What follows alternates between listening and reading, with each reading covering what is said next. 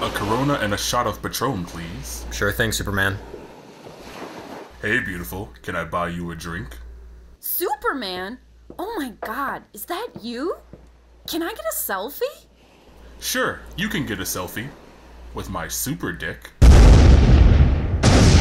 Oh my god! So, what are you drinking? What? Superman, there was an explosion! Shouldn't you go do something? I'm sure it's under control. So anyway, Somebody help us, please! This is completely out of control! there's probably nothing I could do anyway. Where is Superman? We need Superman. I'm sure it's not as big a deal as they're making it seem. Oh my god, the orphanage is on fire! The orphans are burning! Why is there so much fire? You should probably go help. Why can I never just enjoy a vacation?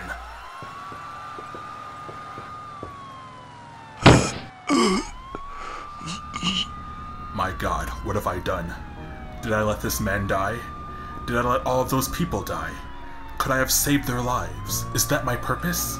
I have so much power, and yet, even if I tried, I wouldn't be able to save them all. Uh, Superman, maybe you could worry about this later.